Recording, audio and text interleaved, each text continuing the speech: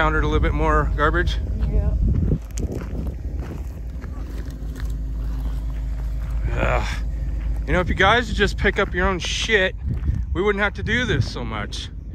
I mean, you really want these trails to get shut down? And there's some back there too.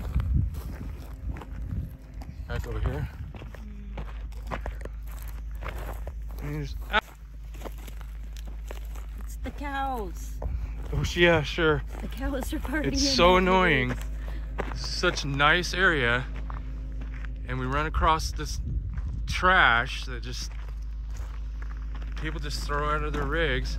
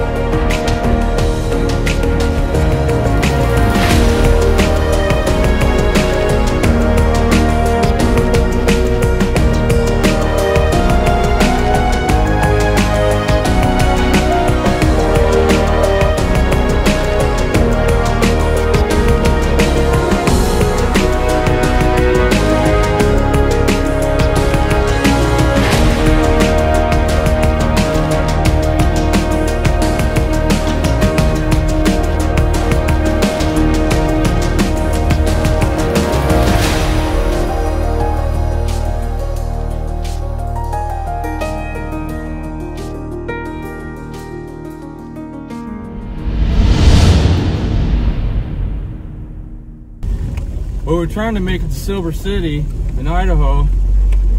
And uh, this trail's taking way too long, too many stops, um, Too many rocks. too many rocks, big rocks, things we didn't anticipate. So we're gonna take a different route and start heading back on a different route up here a little ways because we're getting starting to get a bit too late. So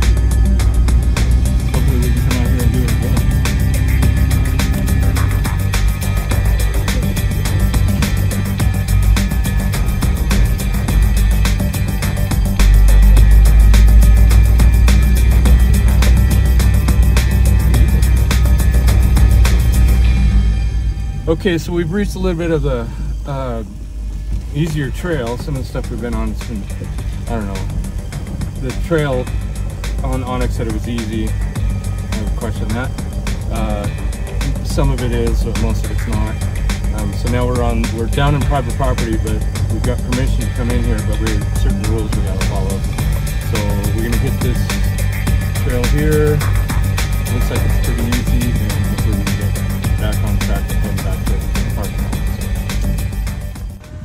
probably the nicest private property sign I've ever seen.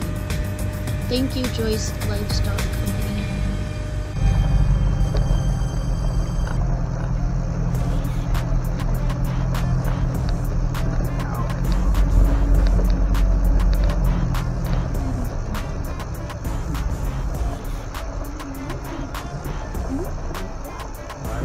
Okay, so we ran across this this uh, natural spring over here. Um, you can see right here behind me, it's draining down into a tub, and, and it's draining right down through here, right down the hill. I would imagine the cows drink it or something. I don't know. Um, and then over here, there's a sign up here. See, it's coming right out of that tub through here. And then the sign says Tidy Springs Sweet H2O. That to me sounds like good drinking water. I don't know. I don't know. What do you think? Think it's good to drink? At least if it's boiled, uh, Jetboil or something. Um, might try it out.